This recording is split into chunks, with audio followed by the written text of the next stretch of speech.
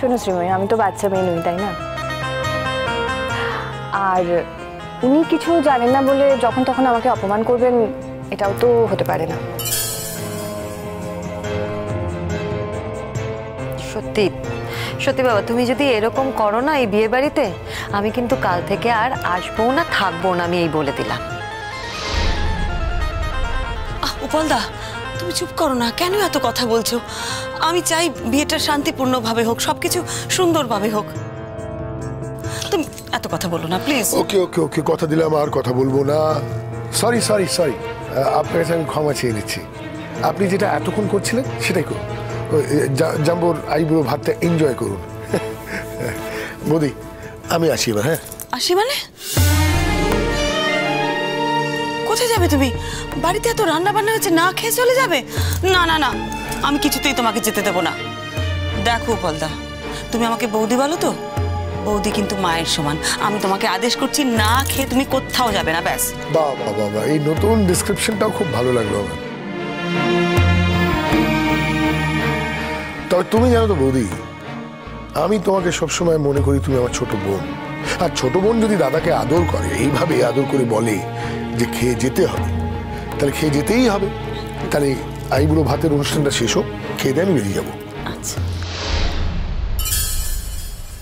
বেরিয়ে যাবে মানে? না না বেরিয়ে যাবে মানে কি? আমরা তো একবারে বিয়ে উপলক্ষে চলে এসেছি। সে তো তুমি এসেছ।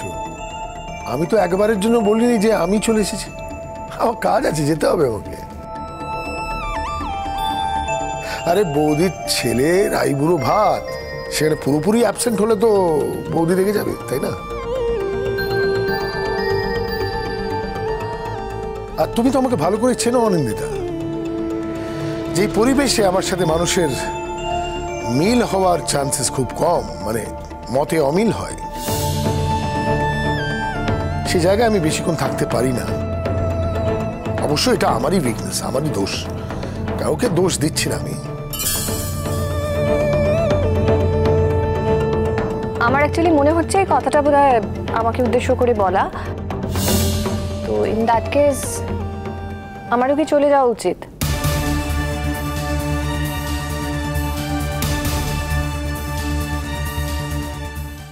আমার অ্যাকচুয়ালি মনে হচ্ছে এই কথাটা বোধ আমাকে উদ্দেশ্য করে বলা। তো ইন দ্যাট কেস আমারও কি চলে যাওয়া উচিত?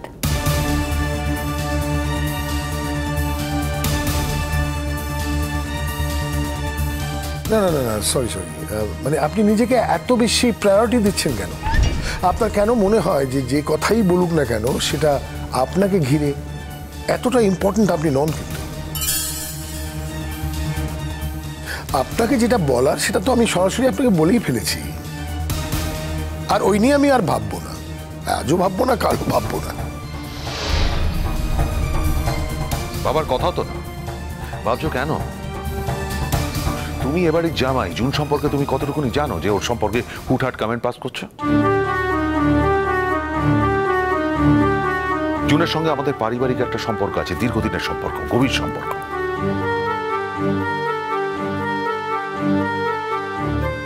জুন আসাতে আমরা সকলে খুব খুশি হয়েছি। স্পেশালি জাম্বো খুব খুশি হয়েছে জুন আসাতে তুমি মাঝখানে কথা বলছো কেন? ও sorry sorry sorry sorry Arinda আমি কোথাও না কোথায় নিজের লিমিটটা ক্রস করে ফেলেছি। সত্যি তো বললে যে আমার তো এই ব্যাপারে কথা বলার কথাই না, তাই না? সরি আসলে কি জানো তো, জামাই ঠিক আপন হয় না। আসলে বুয়া ঠিক সে কথা বলতে চায়নি। আসলে ওর বলার উদ্দেশ্য হচ্ছে যেন কেউ কোনো রকম হাট না হয়। আজকে এটা আনন্দ উৎসবের দিন তো। কোনো রকম অসন্তোষ প্রকাশ করুক বা অসন্তুষ্ট হোক, এটা আমাদের কাম্য নয়। সেটা যদি আপনি বুঝতেন, তাহলে সব থেকে আগে নিজের বৌমাকে নিজের কাছে টেনে নিতেন। নিজের বৌমার যেখানে আশীর্বাদ করার কথা, ছেলে তো ভুলেই গেল। আপনাদের সকলের মধ্যে মানে কারোরই মনে থাকল না। বাবা, জানো ছোটবেলা থেকে আমার অভ্যেস। সাদাকে সাদা বলা আর কালোকে কালো বলা। এই অভ্যেসটা আমার মনে হয় চিরকাল থেকেই গেছে।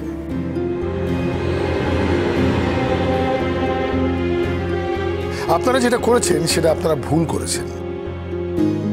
সেটা আপনাদের ভুল। আমার যেটা মনে হলো, সেটা আমি বললাম। কি আশ্চর্য, বুঝতে পারছি না। আচ্ছা মার কতক্ষণ এভাবে না খেয়ে বসে থাকব বলো তো হ্যাঁ? তুমি প্লিজ একটু দয়া করে আমার মাথায় ধান দুব্বটা ঠিকিয়ে দাও না। না।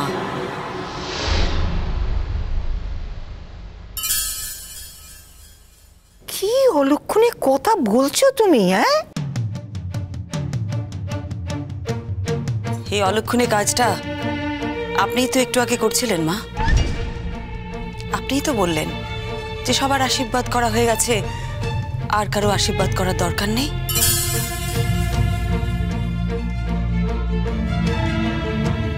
জানব ধমকি দিয়ে সবাইকে সব কাজ করানো যায় না। এতদিন ধমকি দিয়ে তোর মাকে দিয়ে অনেক কাজ করিয়েছিস। কিন্তু এখন না, আমার জীবনটা পাল্টে গেছে। ধমকি দিয়ে আমাকে আর কিচ্ছু করানো যাবে না রে। তুই যে সুরে আমাকে কথাটা বললি, তারপর তোর মাথায় ধান দুব্য ছুঁয়ে আশীর্বাদ করার কোনো ইচ্ছে আমার আর নেই রে। তবে কি জানিস তো, আমি তো তোর মা। তোর মাথায় ধাম দুব্য ছোঁয়াই বা না ছোঁয়াই, আমার আশীর্বাদ সব সময় তোর সাথে থাকবে। ঠিক আছে, বাবা। এত কথা বাড়িয়ে তো লাভ নেই। তোর মা যখন চাইছে না আশীর্বাদ করতে, থাক, ছেড়ে দে। নে, তোর খিদে পেয়েছে, তুই খাবারটা মুখে দে তো। আমরা সবাই তোর ভালো চাই, সবাই তোর মঙ্গল চাই। তোর ভালো হবে, দেখিস? খুব ভালো হবে। সব ব্যাপারে যদি এত কথান্তর হয় তা তো মানুষ কথাই বলতে পারে না। বলি হ্যাঁ গো সে কোথায়? আমাদের গায়ক? সে কি ঘরের দরজা বন্ধ করে বসে আছে নাকি? বলি হ্যাঁ গো সে কোথায়? আমাদের গায়ক? সে কি ঘরের দরজা বন্ধ করে বসে আছে নাকি? না ডিঙ্কা বাড়িতে নেই। ও রিহার্সালে গেছে। আজও রিহার্সাল? দাদা ভাইয়ের বিয়েতে এত ধুমধাম হচ্ছে তো তাই ওর গা জ্বলে যাচ্ছে। সেই জন্য বাড়িতে নেই? ঠিক আছে দিদি তুমি ছোট তোমাকে এত কথা বলতে হবে না। তুমি চুপ করো। যা সত্যি তাই তো বলছি পিসিমণি।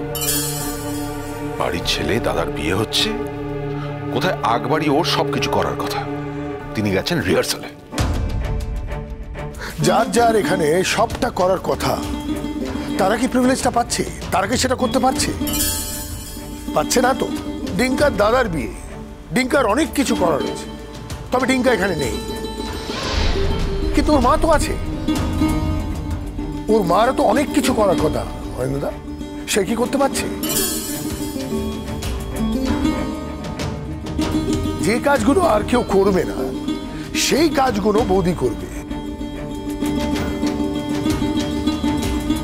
কোথায়? কালকে তোমরা শপিং এ গেছিলে বৌদিকে তো নিয়ে যাওনি? Upal for your kind information তোমার বৌদিকে বলা হয়েছিল। তিনি জাননি। সত্যি কথাটা বলতে শেখো অনিন্দুদা। খুব জরুরি এই জীবনে। হ্যাঁ তোমরা বৌদিকে বলেছিলে। তবে বলার মধ্যে একটা ফাঁক ছিল। ফর্ম্যালিটি যেটাকে বলে, তার মধ্যে দাবিটা ছিল না। তার মধ্যে অধিকার বোধ ছিল না।